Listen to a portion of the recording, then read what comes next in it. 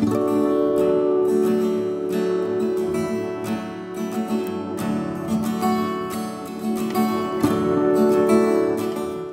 everyone, it's Chelsea from Little Mountain Ranch and before I get into this video I want to send a huge shout out to two little boys whose names are Ryan and Emmett. Apparently Ryan and Emmett are new fans of mine. Their mom was telling me that she had put on one of my videos for them to watch and then she had gone out of the room and when she came back in she said that they had kept clicking on my videos and watching them.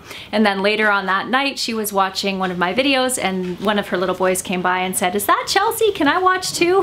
And honestly that warmed my heart so much and I think that comment is probably my favorite comment of all time. So hi guys! It's been a bit of a rough start to the gardening season this year. We had a loss in March and I just did not have it in me to be planting during that period of time.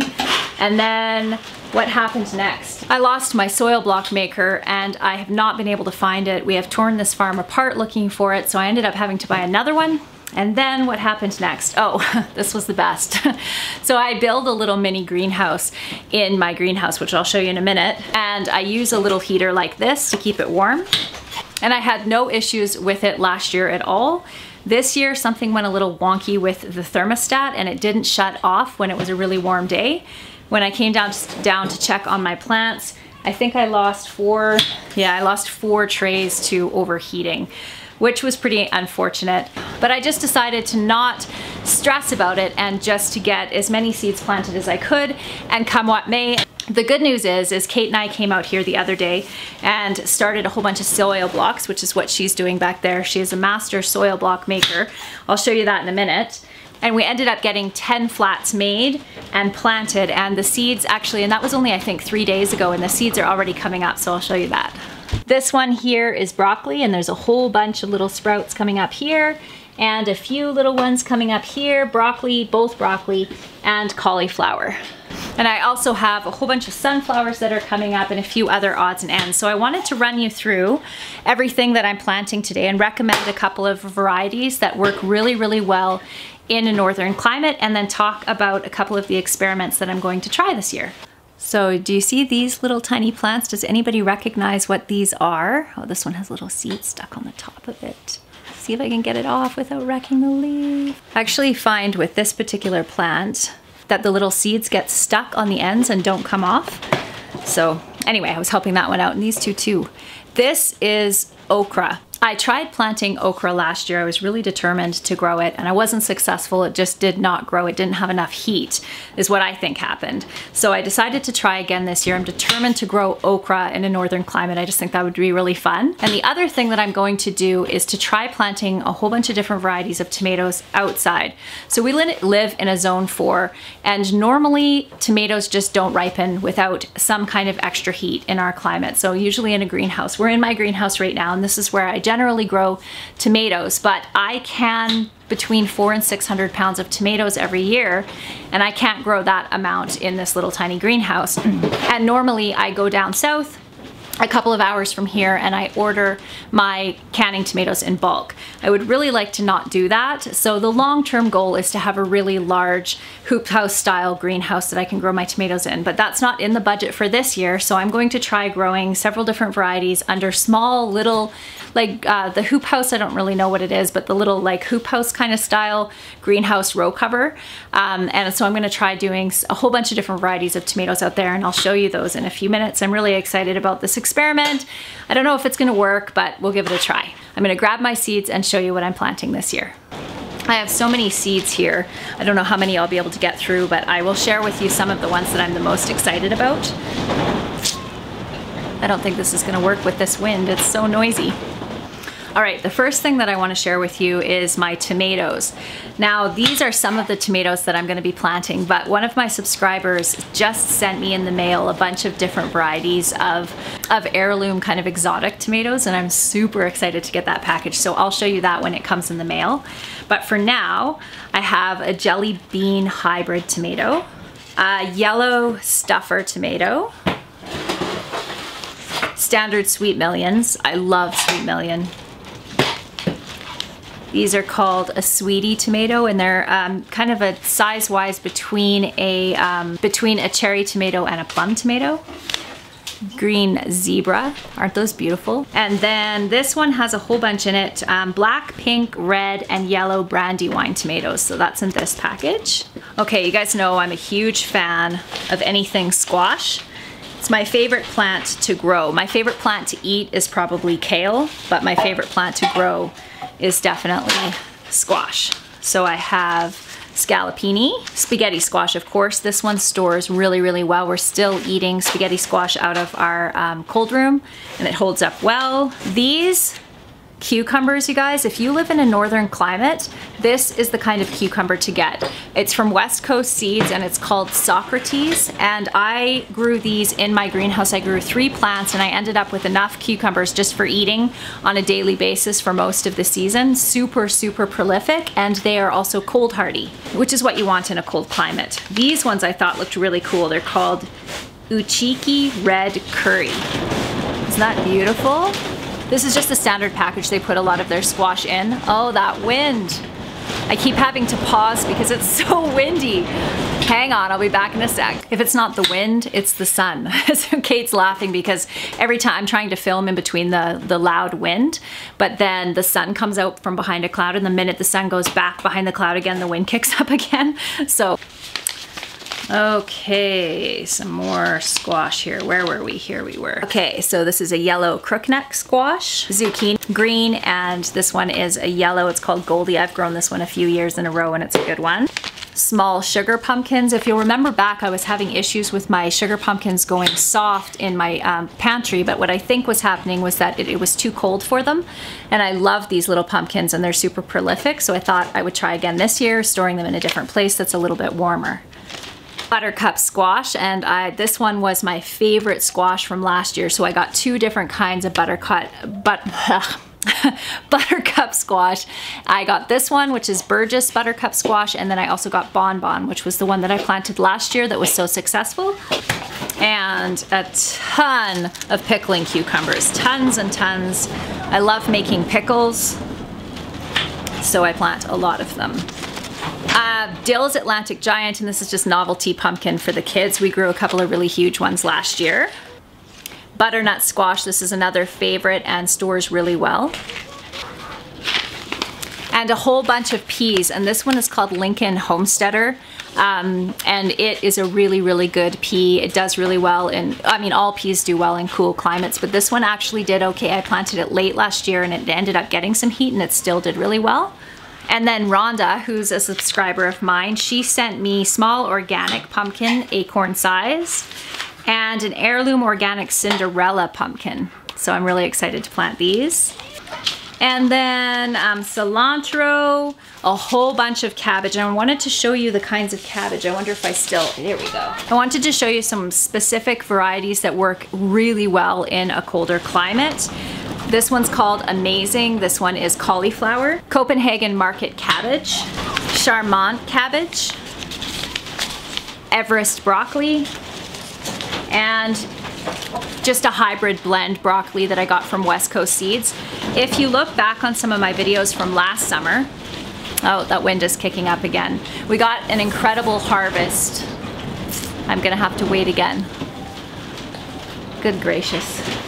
Good gracious, Caitlin. I had a really, really excellent harvest on broccoli and cauliflower and cabbages last year. So if you look back, I'll try to link, I think I have it in a bunch of different videos, but I'll link my garden playlist up here anyway if you wanna go and check that out. But those varieties are really, really good ones and I highly recommend them. Uh, if you've been following along on my root cellar experiments, one of the things that I have been testing is how long I can have cabbage last in my root cellar.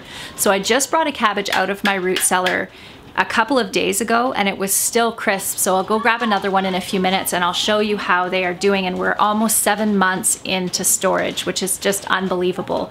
So those cabbages, the market, what was it again? The Copenhagen Market cabbage and the Charmant cabbage, both West Coast seeds, organic seeds, and those ones I definitely recommend for long-term storage.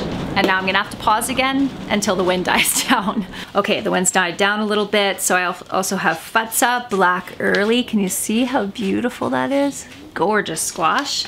And then a Queensland Blue Squash, another beautiful one.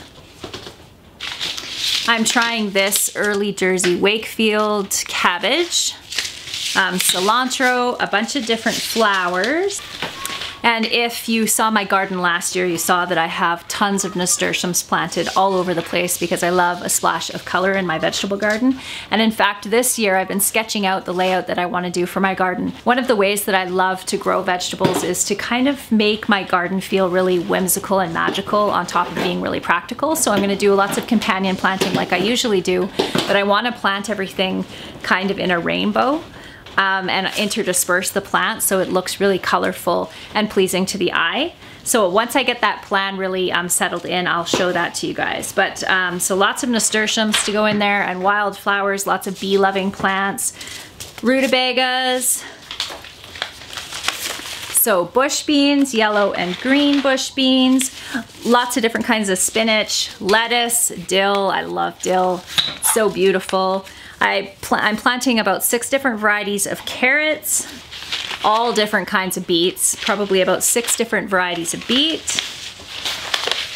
And I just realized I left some seeds up to the house, so Diego's gonna run up and grab those for me. Plan is to get the rest of the heat-loving, longer to mature plants like the tomatoes and the peppers and all of that finished being planted today, and then on around the 15th or so, 14th or 15th, then I will get all of my squash planted. You usually wanna do that about three or four weeks before you're gonna put everything in the ground, and we usually put all of our stuff in the ground by the 20th, but because I have this larger green a greenhouse space to start my plants. I don't mind if everything gets a little bit larger, so I'm gonna start all my squashes early to get an early start on everything this year. We're not big fans of radishes, but I just love the fact that they come up so early in the year. So I have some radishes and a whole bunch of parsnips. I mentioned that I love parsnips and I didn't know that. I had never actually had them before this last year.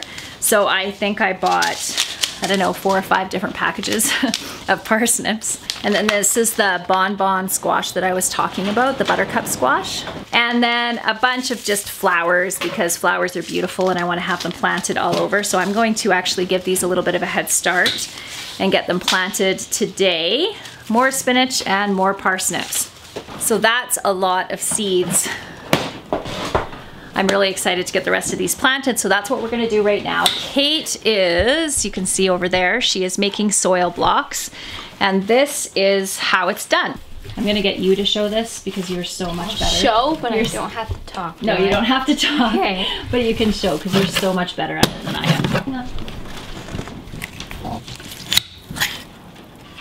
Look at those pretty little soil blocks. Hers are so much better than mine. So we're just using this table to put them on and then put them in trays like this. Normally I plant all of my squashes in the larger containers just so I don't have to pot up after, but pretty much everything else gets planted in these soil blocks. Last year was the first year that I used them. One of the things that I talked about last year, now where did it go? Is this larger one. So this is the largest um, soil block maker that you can buy. And if you can see in here how it has the little square, this leaves an imprint in the large block so that you can transplant your smaller blocks right into here without causing um, any disturbance to the roots. This sounds like a really good thing. This is why that why I bought it. But one of the things that we found last year was that number one, we didn't actually need to pot up very many things. Uh, most of the plants that we planted, that we um, put in the garden just were right from these small soil blocks and into the garden. And these are huge. Like this is a massive amount of soil. So unless you really think you're going to need to pot up to this size before putting into your garden, I wouldn't spend the money on this. Rora just ran down and grabbed me a cabbage from the root cellar and this is how I store my cabbage with the root ball on. This cabbage has been in the root cellar for just about seven full months and you can see there's a little bit of discoloring happening here. There's a little bit of mold growing here, but if I just peel back a couple of the leaves. It does not take long to hit perfectly good cabbage. Look at that. And the best part is that,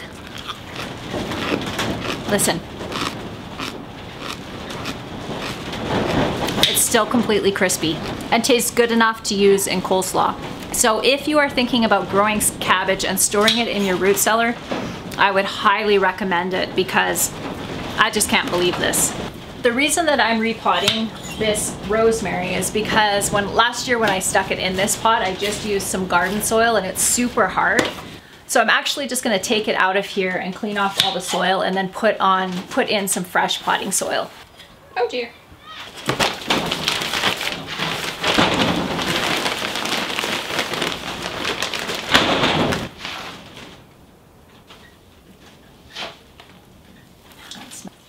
There, that's gonna make for a happier rosemary. Um, Dan bought me this little rose just to add a splash of color to my windowsill, but it needs to be in a much bigger pot. So I shall pot it out here. Will you be able to fill it? There, that looks cheery, doesn't it? I decided to do one more thing before we leave the greenhouse. We managed to get everything planted that I wanted to get planted, but you can see this little bed back here.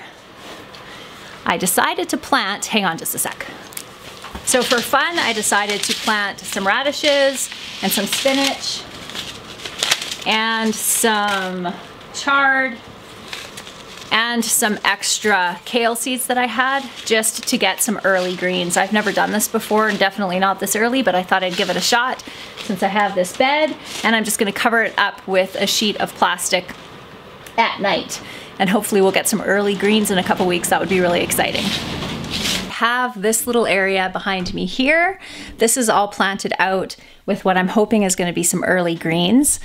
And I've just covered up with plastic just to give it a little bit of extra heat for germination. And over here I have my little greenhouse in a greenhouse all set up with all of my little seedlings in there. And I did a count and there's just about 1,500 starts in here, which is beyond exciting to me. I still have a couple of hundred plants to start and that's all of my cucumbers and my squash plants and I'm gonna start those probably in about a week. I don't wanna give them too much of a head start because they are a really quick growing plant.